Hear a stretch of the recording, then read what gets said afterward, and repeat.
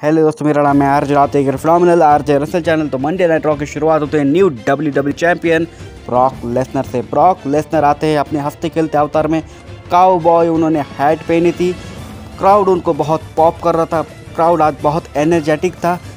W W champion भी बहुत energetic थे। मतलब कि Brock Lesnar Brock Lesnar announcer table पर जाते हैं। अपनी वर्ल्ड चैंपियनशिप को वो रेस करते हैं। उसके बाद वो रिंग में आते हैं। वो कहते हैं कि मैं यूनिवर्सल चैंपियन बनने वाला हूँ। At WrestleMania thirty eight वो कुछ बोल पाते, उसके पहले ही इंटरप्ट करते हैं उनको पॉल हेमन पॉल हेमन कहते हैं कि तुम रियल चैंपियन नहीं हो, लेकिन ब्रॉक लेसनर कहते हूँ, कहते हैं कि मैं reigning defending undisputed W W E world heavyweight champion हूँ।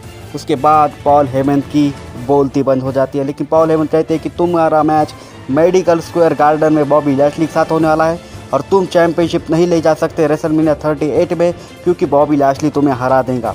उसके बाद ब्रॉक लेसनर कहते हैं कि तुम्हें पता है कि मैं नेक्स्ट फ्राइडे को कहा हूँगा तो पॉल हेमंत कहते हैं कि मुझे नहीं पता, तुम शायद अपने होम टाउन में होंगे, लेकिन ब्रॉक लेसनर कहते हैं कि मैं स्मैकडाउन पर आने वाला हूँ और मैं फेस टू फेस करने वाला हूँ रोमन रेंस के साथ। शायद मैं रोमन रेंस को पीट भी सकता हूँ।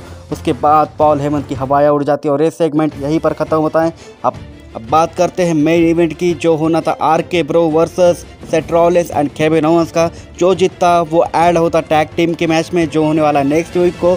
तो इस मैच में, ये मैच काफ़ी बढ़िया था ब्लॉकबस्टर आपको ये मैच देखने को मिलेगा मंडे नाइट रॉ में, और इस मैच में विक्ट्री मिल चुकी है केविन और सेट रॉलेंस को लास्ट मोमेंट में ये बहुत बढ़िया चल रहा था मतलब कि इसका फिनिश बहुत अच्छे तरीके से हुआ। सेट रॉलेंस ने अपना बक्कल बॉम्ब दे दिया। मैट रिडल को उसके बाद स्टर्नर आता है, उसके बाद हेड स्टॉप आता है और उसके बाद नहीं उठ पाए Matt Riddle. One, two, three और वहाँ पे सेट रॉलेंस और केविन ओवन जीत जाते हैं। वो ऐड हो जाते हैं उस मैच में, जो कि होने होने वाला है रॉ टैग टीम चैंपियनशिप के लिए। आपको ये वीडियो पसंद आए तो लाइक कीजिए, सब्सक्राइब कीजिए और कमेंट तो ज़रूर करना। धन्यवाद।